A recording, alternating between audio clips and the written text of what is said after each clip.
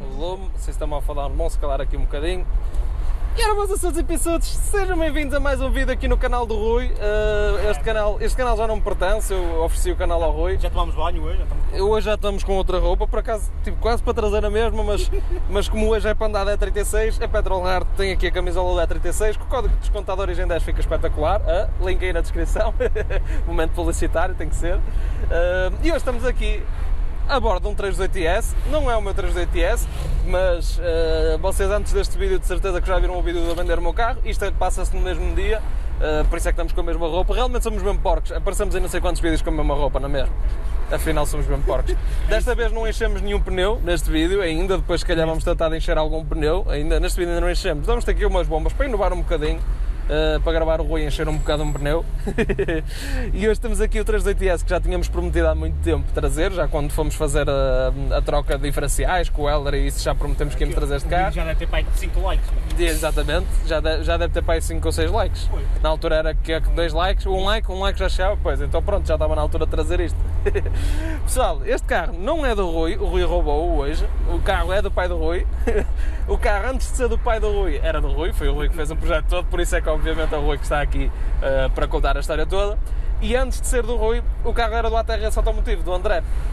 Portanto, posso-vos dizer que já há vídeo aí no canal disso, uh, mostrar a reação do André quando viu este carro, quando o Rui fez este projeto todo ao carro, quando o Rui fez esta intervenção toda ao carro, depois de o comprar. Há vídeo aí disso e, portanto, vocês aí podem mais ou menos ver. Até, aliás, há vídeo de quando fomos buscar o carro, uh, porque eu, eu levei o Subaru nesse dia e ele levou o 318S e há vídeo dessa situação aqui no canal. São vídeos já bastante antigos. Já quanto tempo é que já foi isso? Quanto tempo tens este carro? Para aí 3 anos? 3 anos. Para aí 3 anos. Olha, um 318S coupé com umas carecas, hein? As carecas são os melhores jantes do mundo para o Zé 36. Só descobri hoje, no dia que vendi o meu. Pessoal, vamos contar aqui mais ou menos a história, o que é que o Rui fez aqui neste carro. Pá. Uh, pronto, dar aqui assim, um, um, uh, um walk around hein, de como é que o carro está, mas vamos fazer isso depois de vocês verem aí umas filmagens que o carro está muito, muito bonito. O carro está lindíssimo. Como seria de esperar de qualquer coisa que é aqui do Rui, que o Rui tem tremendo bom gosto. Está diferente dos outros E36 que se vê por aí, uh, com umas coisas que eu nunca vi em mais nenhum, mas já vamos falar um bocadinho melhor sobre isso. Bora lá? Vamos a isso.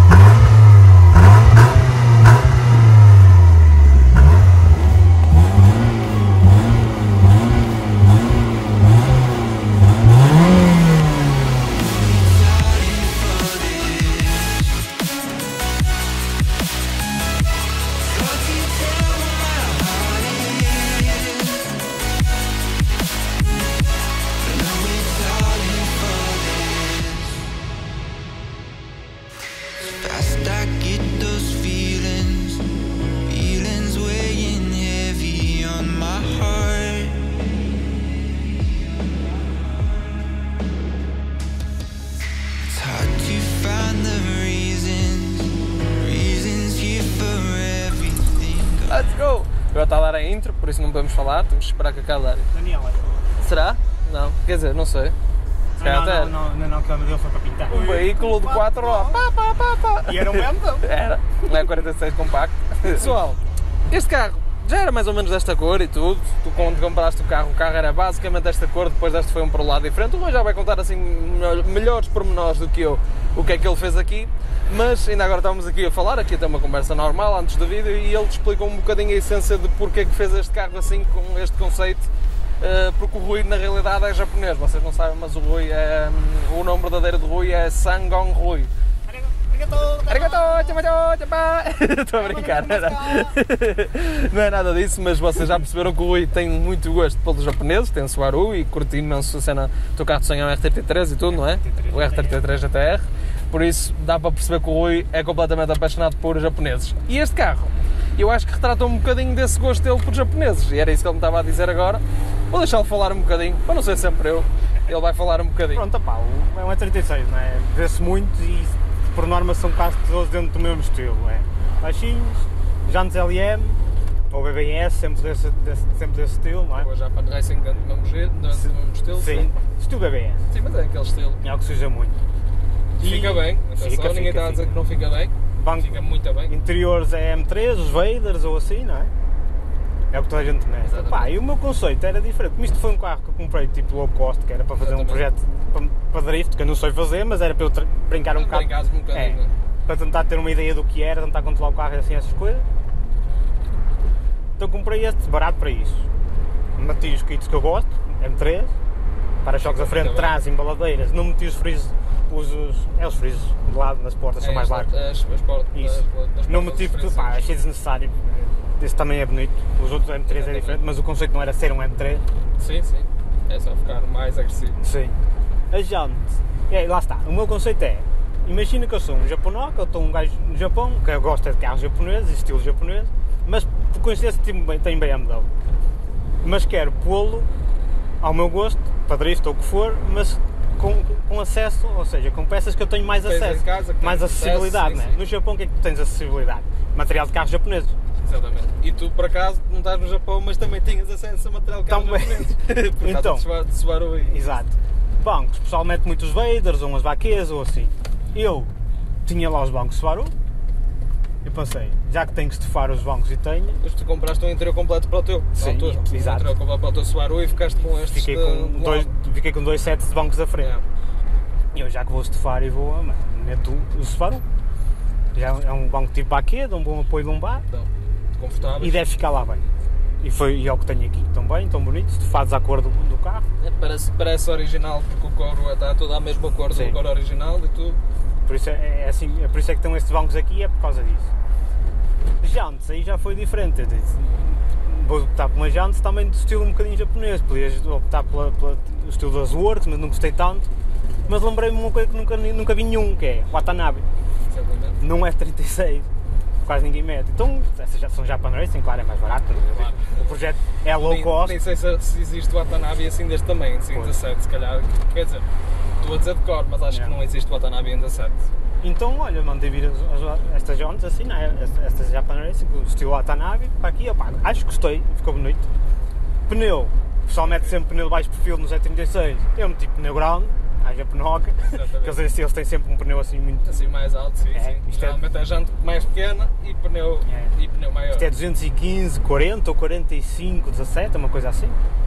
É um pneu alto, que até era a medida que eu tinha numa Subaru atrás. E basicamente o carro tem, foi pintado, foi estufado, foi o teto em preto, para parecer...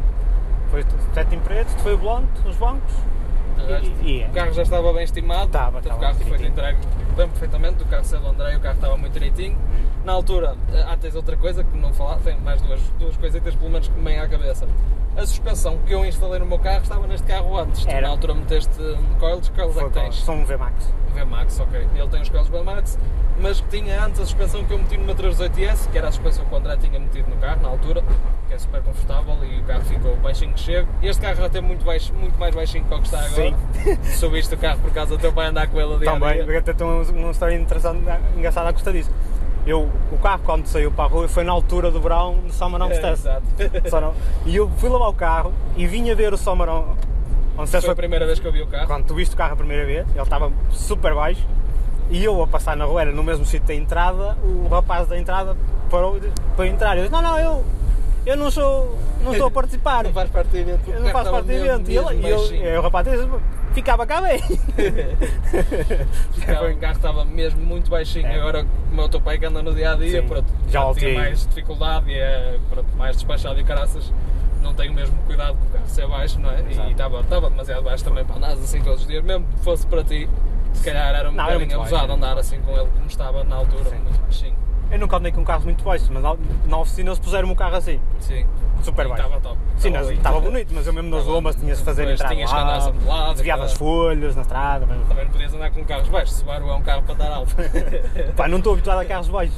Não estou habituado a ter tanto cuidado assim. Mesmo agora, assim, para mim, eu acho que está uma altura que o carro está suficientemente baixo, visualmente como o pneu preenche, está, está muito bonito, pá, e está, está prático. Vê-se o carro andamos aqui no dia a dia, andamos aqui em medida normal, em estrada normal, e não tens que andar com nenhum cuidado extra. Exato. E está muito fixe. Tens outra coisa, porque umas jantes eram muito largas, tu já me chegaste a contar essa Ah, história, verdade. que é uma história interessante. Estas jantes, eu na altura pedi já- as jantes, não é? E eu foi, já não me lembro, também não vou dar a dar, nomes, e eles aconselharam-me esta jante. Eu não fazia ideia, porque eu não percebo nada de medidas, é ter tal, tanto de polegada de largura, vai ficar mesmo bem. Não é T0, não é? É T0. T0. A janta à frente saía para fora quase meio metro. É. Foi. É muito agressivo, é muito agressivo. A gente Pá, sai mas muito pronto, fora. eh, são bonitas, eu também não, não, não fui reclamar com o homem, não interessa. E hum, então qual foi a opção? Atrás fizemos roll fender, à frente adaptamos, é meio guarda-lamas do E36 e meio guarda-lamas do E46, E46. porque tem a aba maior, mais fora. Yeah, então o carro fica bonito, é, cobre-me o, hum, a roda, não sai para fora agora e ficou largo de frente, até mais largo que o M3 até. Eu acho que o M3 nem tem guarda-lamas mais largos que o do que o normal. Nem sei. Se tiver é pouco, este aqui fica muito mais largo. Está muito fixe. Dá logo uma presença, depois vocês- já viram as filmagens e veem que dá logo uma presença ao carro, fica logo assim com um aspecto muito mais robusto de frente, De frente, yeah. do que o que fica um E36 normal. Esse é o tal pormenor que eu vos dizia que achava que.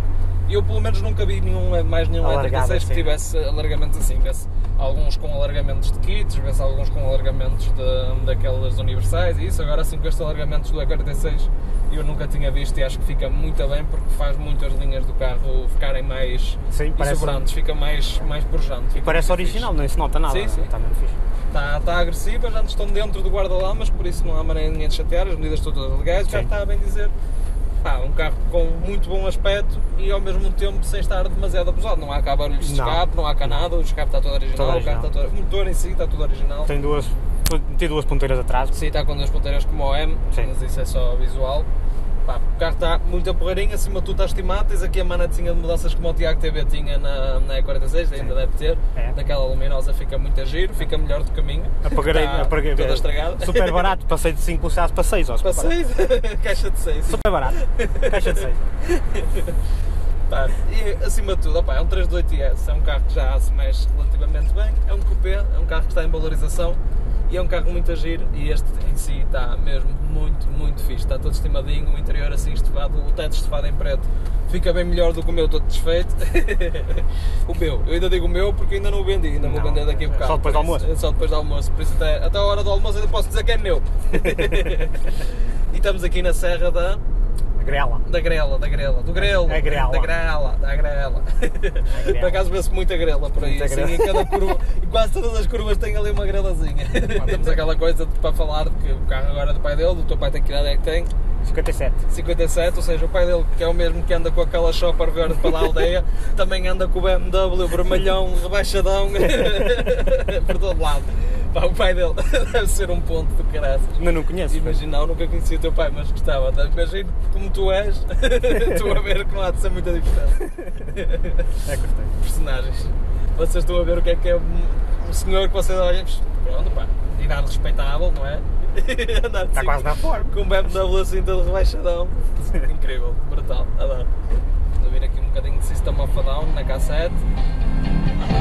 Tá bom, tá bom. YouTube, desculpa, estava a brincar. Estava a brincar, YouTube, desculpa. Ah, isto tinha que ser. Vizinho cassetes.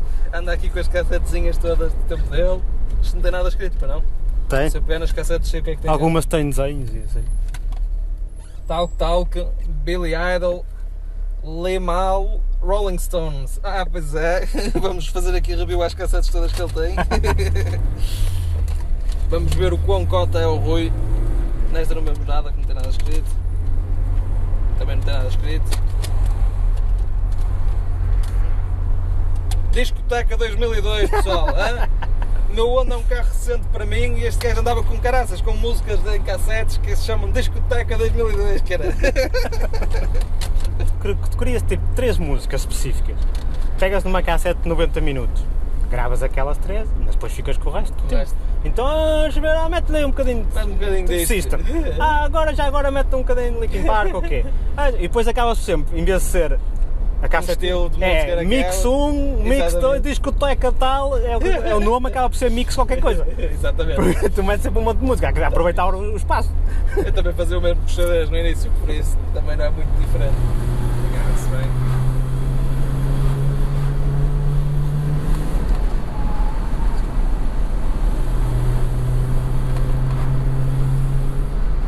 Eu sempre fiquei com aquela coisa, o teu tem pneu maior, tens jantes 17 na mesma, e nós chegamos a puxar, nós chegamos, chegamos a puxar ali naquela subida à beira do Hugo, e o teu carro anda mais do que o meu. Ah, é? Eu acho que sim, eu acho que o teu carro anda mais um pedaço que o meu. Se calhar tem a rodagem do, do André. Que o André, sim, o André faz as rodagens bem feitas, também é verdade. Agora com 15, se calhar se puxássemos lá, mas o teu também é 1800, lá está, o teu é 1800, não é? Exato. É. E o meu é o. São os dois 18S, mas o meu é 1900 e o dele é 1800. E o 1800 é aquele motor que o pessoal diz que é mais feito para performance, é mais feito para ser um motor muito robusto, muito duro. E o, o 19 já é feito mais para consumos, etc. Se calhar o meu nesse aspecto é capaz de fazer melhores consumos até do que o teu, não sei. Talvez. Mas Deixa ver no computador de bordo. e não está, normalmente ele faz sempre a mesma média. Quando acabar, mete mais Exato, quando acabar, até. Adoro esta esta pintura. Para já a pintura está de um trabalho espetacular. Não sei se queres falar da- das oficinas que fizeram os trabalhos ou assim. Ah, foi, quem, quem Foi pintou um tanto Soru como este é mais Friends Garage, que é aqui nesta zona de Passo de Ferreira. Mas eu ia lá principalmente porque o meu melhor amigo ela, é que era o pintor. Exatamente. Eu vou onde ele estiver, Ah, exato, estou a perceber. Estou a perceber, estou a perceber. onde ele trabalhar e a condição tem que ser ele pintar. Exatamente. Eles tinham para aí dois ou três Foi o teu amigo pintores que pintou os dois carros. Os dois carros. Exatamente. ele agora já, já não é pintor. De Não. pintor, foi para cá noite. que diferença. Eu disse logo Pô, que ele- Mas perdeu-se um grande pintor, que os carros estão com uma pintura incrível lá. Eu disse logo que ele ia engordar e engordou. Já engordou? Então deve ser camionista, eu também. Eu vais engordar, pá. Não, não, eu levanto as coisas, compro tudo da Prós, eu também compro as garrafas, as barritas de chocolate, É? eu também compro da Prós. Por acaso, Chica a volta virada para Para vocês já viram, vocês já viram as filmagens de cá fora, Não mas eu vamos vou gravá-las agora. vocês estão a ver as coisas antes de eu as fazer, agora pensem, hein? Isto- este canal é mesmo inovador. espetáculo. E pronto pessoal, vamos terminar o videozinho aqui onde vocês começaram logo praticamente a vê-lo, vocês já tinham visto a montagem e nós é que não, é, não a tínhamos feito, mas vocês já a tinham visto. Vamos terminar aqui o videozinho. Não há muito mais a falar para este carro, ainda é um projeto relativamente recente nas mãos do Rui, porque lá está também tem pouco tempo com ele, depois passou para o pai. Eh, agora é o pai que vai viver a história do carro, mas vocês pediram muitas vezes e eu achei que era super interessante trazer porque o carro é lindíssimo e cá está ele. Pá, Rui, obrigadão mais uma vez. E agora temos um BMW do género deste para tratar de vender. Vocês já viram que nós o vendemos. Estes gajos são do caralho, mano. Tá Eu ainda não vendi o carro, eles já viram que eu vendi o carro. Eles devem falar que aquele lá, o professor Kim- O Aladino, o Kim. Kimambo, o professor Kimambo. Pessoal, um grande abraço a todos vocês. Até ao próximo vídeo. E agora hoje tenho que deixar aí uma meta de quantos likes, mas esta tem de ser alta. Para verem o Subaru no canal. E Agora quando eu vier, esta é alta, opa, 5. 5 likes? 5, 500 likes. 500? 5 likes. 5 likes no comentário do Rui para verem o Subaru aí no canal. Vais ter comentário esse vídeo. 5 likes no comentário do Rui, trazemos o Subaru no canal. Aqui entre nós. O motor. Meio que é é assim, meio de olhos. De olhos em bico, não é? Novidades em breve. Mas é, é mais não. É mais económico, exatamente, que é a gasolina japonesa, mais, mais barato. Mais barato. É, um milhão de anos, dá para quanto? Já é deste, só foi. Está top.